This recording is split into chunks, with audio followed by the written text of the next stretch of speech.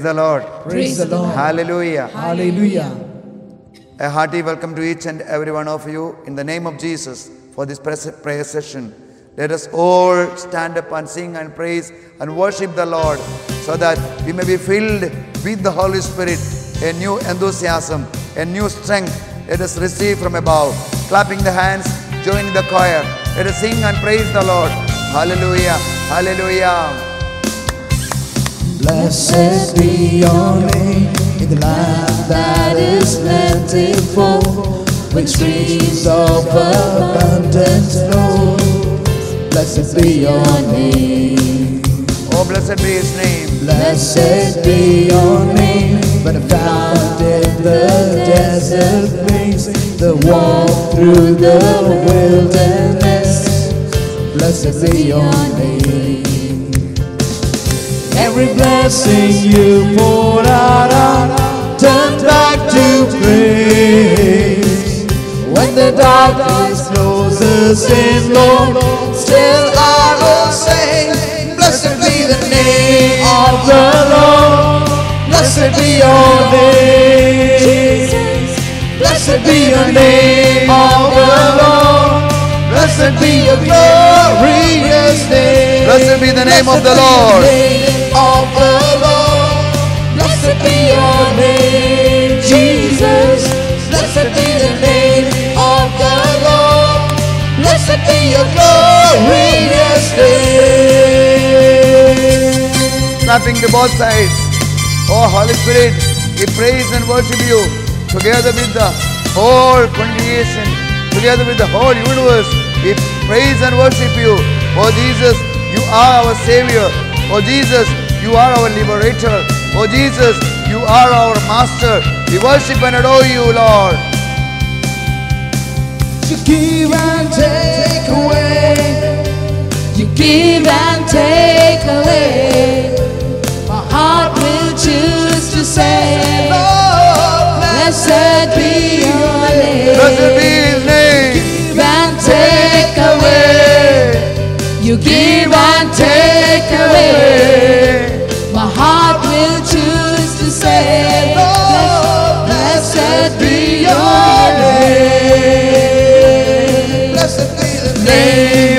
the Lord. Blessed be your name, Jesus. Blessed be the name of the Lord. Blessed be your glorious name. Hallelujah, Thank you, Jesus. hallelujah. We Oh, bless blessed be name. glorious name. Oh, blessed be the name of Hallelujah. Jesus. We thank you, Blessed be. His blessed name. we praise you. We Hallelujah, thank you, Jesus. hallelujah, Hallelujah, hallelujah, hallelujah. Hallelujah, hallelujah. Lord, we bless your name. We bless your name. Let's close our eyes. Keep our both hands close to our heart. Oh Lord, we ask you to empower us with your power of spirit. Oh Lord, we live in this world and we have been always attracted to the pleasures of this world.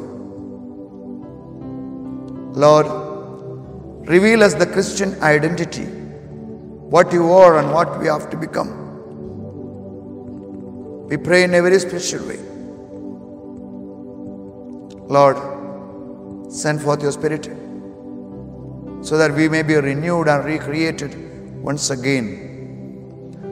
Let us all serve you with devotion and diligence. We make this prayer through Christ our Lord. Amen. Amen. Amen. Amen. Amen. Please be seated. Dear brothers and sisters, we are going to listen to a passage taken from the Gospel of St. John, chapter 17. We here see Jesus praying for his disciples.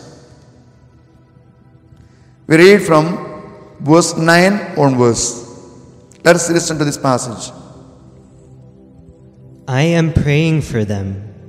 I am not praying for the world, but for those whom you have given me, for they are yours.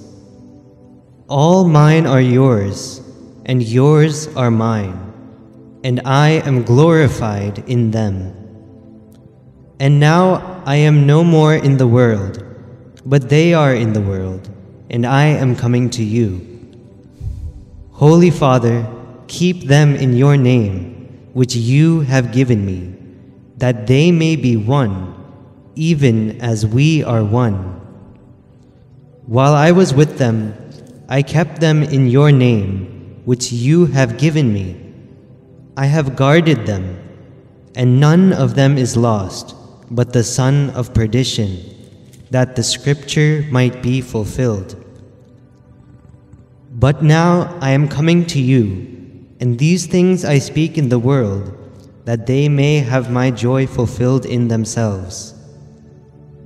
I have given them your word, and the world has hated them, because they are not of the world, even as I am not of the world. I do not pray that you should take them out of the world, but that you should keep them from the evil one. They are not of the world, even as I am not of the world. Sanctify them in the truth. Your word is truth. As you sent me into the world, so I have sent them into the world. And for their sake, I consecrate myself, that they also may be consecrated in truth.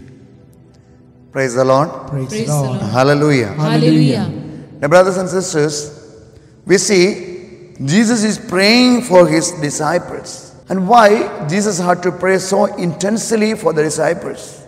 Because Jesus knew that the disciples they are chosen from the world, but they have to live in the world, and they may be always tempted to go back to the world.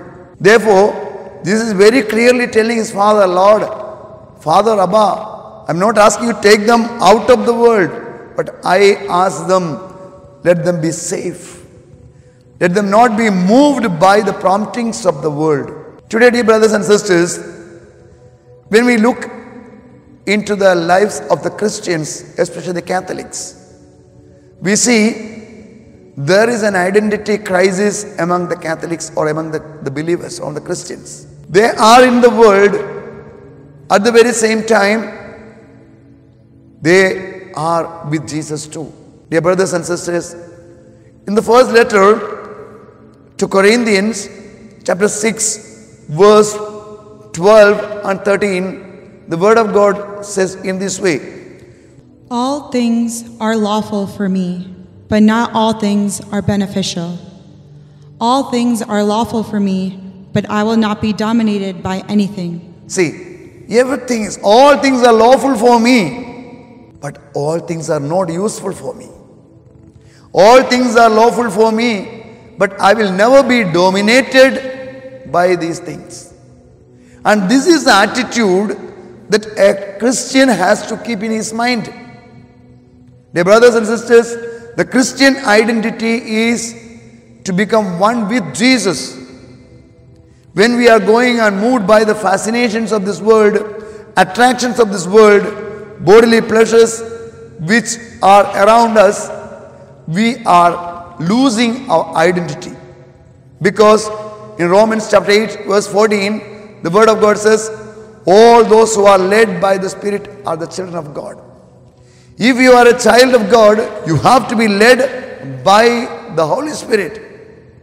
Now, which spirit leads you?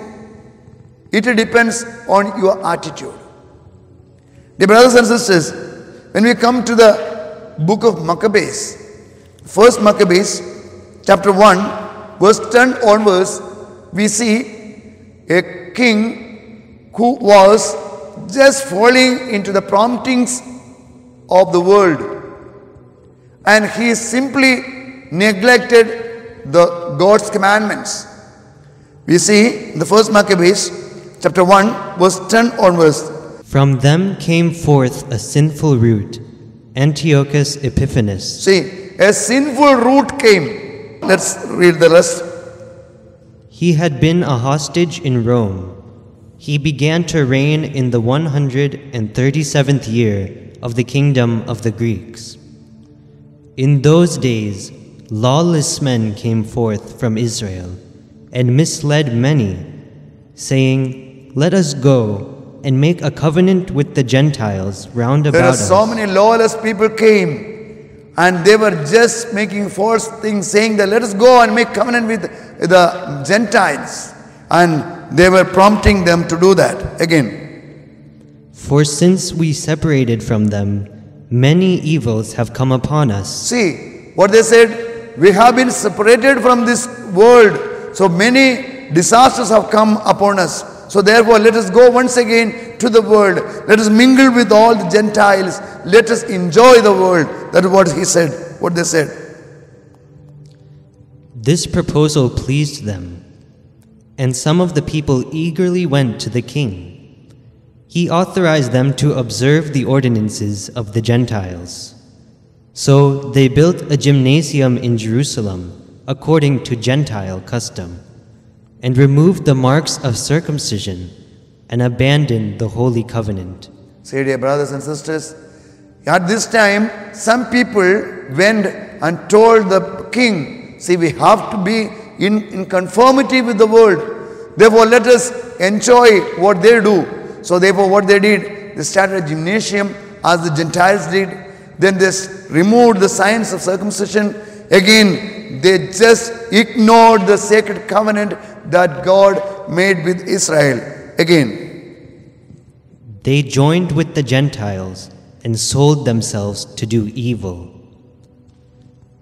When Antiochus saw that his kingdom was established, he determined to become king of the land of Egypt, that he might reign over both kingdoms.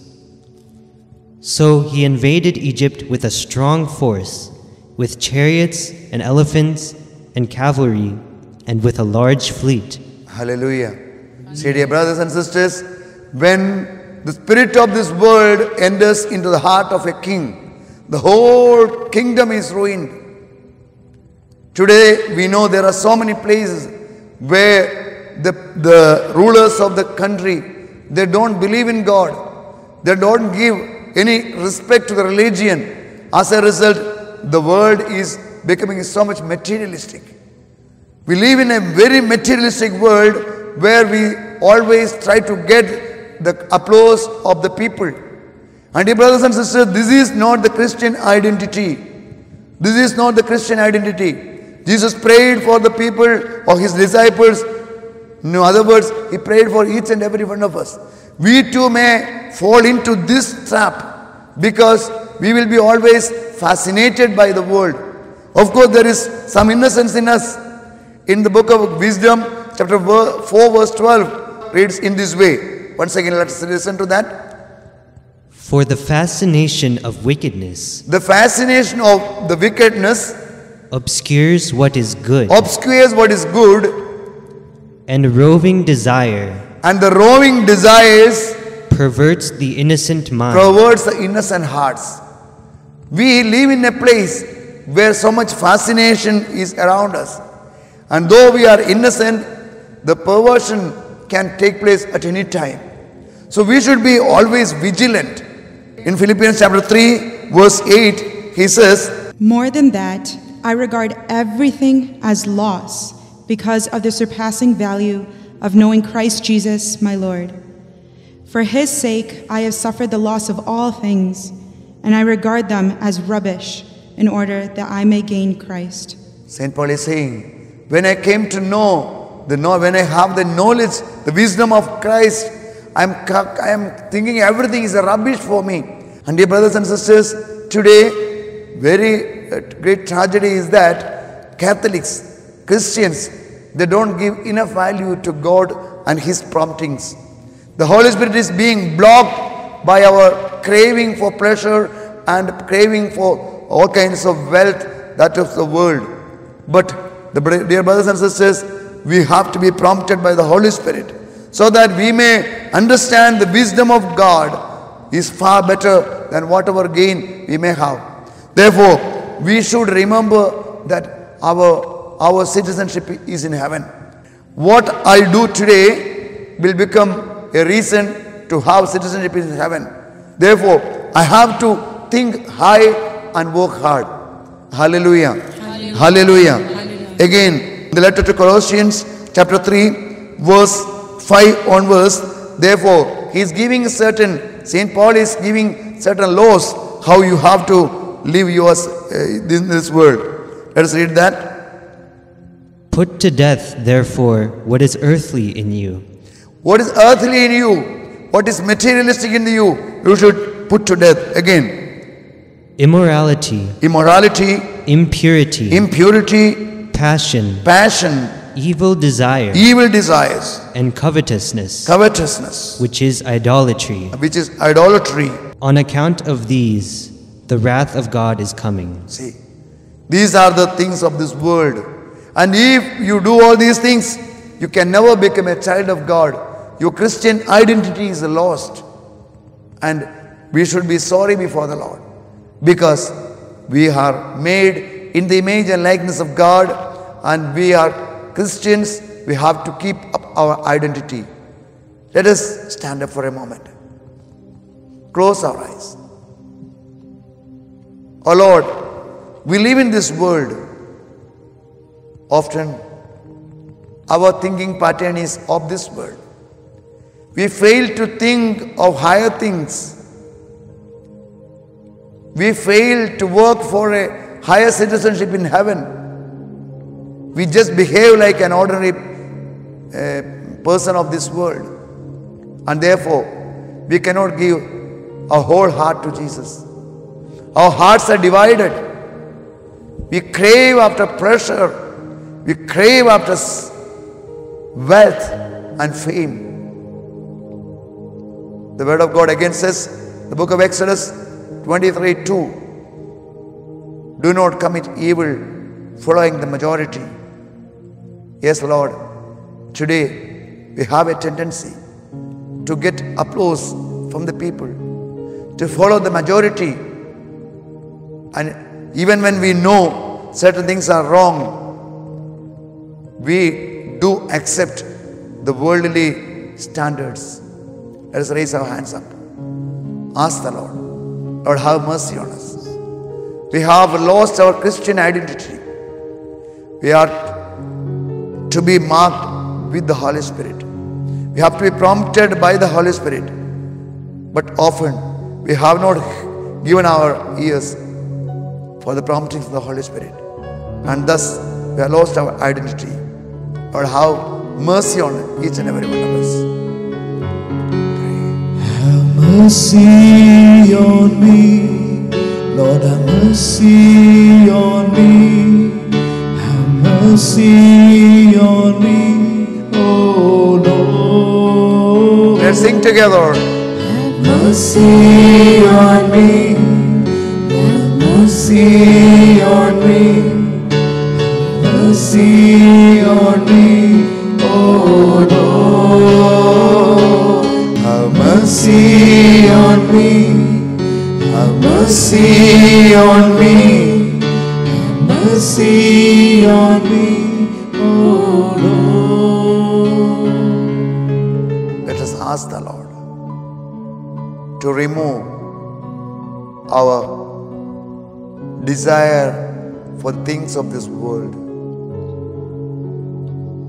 Oh Lord, as you prayed for your disciples today, we ask you to pray for us. We ask you to help us to get out of from the clutches of the worldly promptings and the worldly spirit. Let us close our eyes and let us invite Jesus into our midst.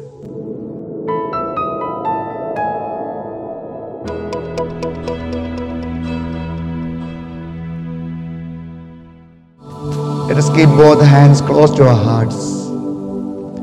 Let, it- let us accept and admit that we are weak and fragile. Lord Jesus, when we look back into our lives, we see there's a lot of weaknesses in our lives. though you love us every day, though you enrich us day by day with your all graces, we haven't been faithful to you. Jesus, we have run away from you so many times, but you don't count all those. What you count is loyalty and faithfulness. You want everyone to be returned to you. Oh Lord, today as we pray, let all the obstacles and blocks that prevent us to come to you, to return to you, be gone in Jesus' name. Or Lord, sometimes certain sins are in us which we cannot renounce, which we cannot put aside. We are have become really chains of these sins. Lord, help us. As those people who went ahead of us, they when they got the realization of the truth, they were ready to put away whatever was not good. Dear brothers and sisters, as we are getting ready for the final blessings, ask the Lord, Lord, give us the generosity to accept what we are and to renounce what is not pleasing to God. Lord, give us the grace to sustain your grace. Let the Holy Spirit come and take away all the stains of sin. Let the Holy Spirit infill us so that we may become the sons and daughters of the living God. Let us raise the hands and praise and worship the Lord as we are getting ready for the uh, blessings. Let's praise and worship the Lord. Hallelujah. Hallelujah. Hallelujah. Jesus. Jesus. Jesus. Hallelujah. Hallelujah. Call out the name of Jesus, everybody. Jesus, Hallelujah. Jesus, Jesus, Oh, Jesus. Jesus, Touch and heal us. Jesus, Hallelujah. Jesus, Hallelujah. Jesus. Oh, Jesus, Oh, Jesus, Call out the name of Jesus,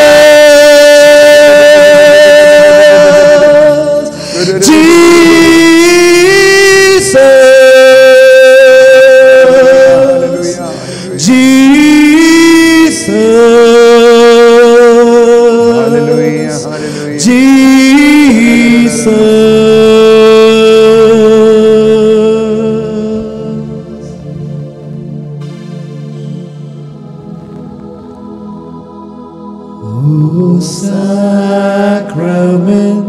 most holy,